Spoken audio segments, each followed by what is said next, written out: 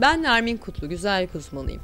Lazer epilasyon yaptırmadan önce kesinlikle e, iyi bir merkez seçmeniz, iyi merkez derken de e, uygulayıcı kişilerin uzman olması, kullandıkları cihazın e, ve ekipmanın e, son teknolojik donanıma sahip olması ve CE belgelerinin kesinlikle olup olmadığını sorgulamanızı e, öneririm.